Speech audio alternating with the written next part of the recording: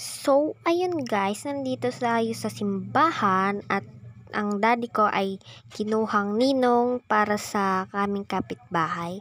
At yan yung daddy kong guwapo. Tapos, at ito ang mami kong maganda, pretty. Tapos, ayun po yung naanak ng daddy ko. Naiinip na po siya kasi kanina pa po sila dito sa simbahan.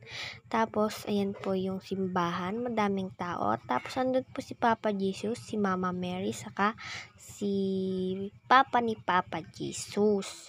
Tapos, ayan po, ayun po yung mga tagapamahala sa simbahan na to. Tapos, ayan, ayan, madaming tao. Ayun po yung mga ano sa kanila. Tapos, ito yung ilaw, may isa pang hindi bukas.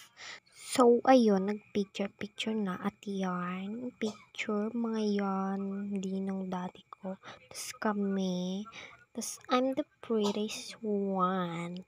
At ito nga palang simbahan. Okay, bye. See you in my next video. Peace